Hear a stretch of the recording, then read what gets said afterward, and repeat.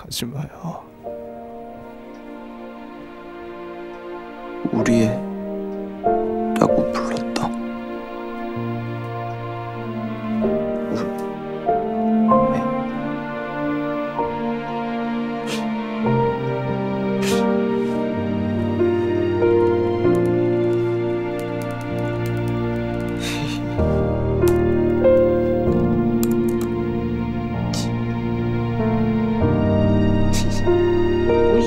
이러냐? 얘가 하루 종일 놀고 다닌 거야. 그래야? 이 모든 상황이 한 계약직 사원의 경솔한 말 한마디에서 시작됐음을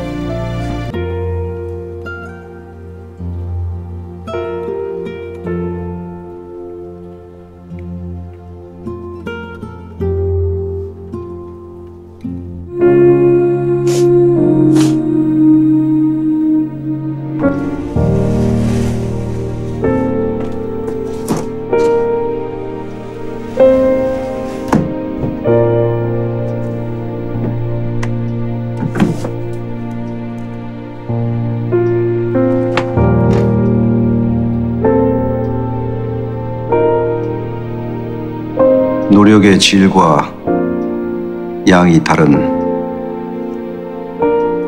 장그래 죄송합니다.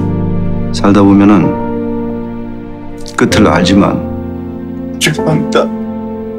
시작하는 것도 많아 죄송합니다. 버텨라 죄송합니다. 그래서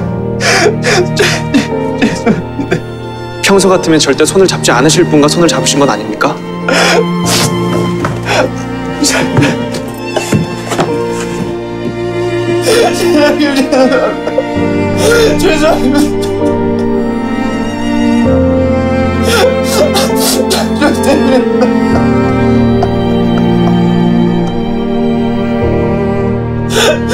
죄송합니다.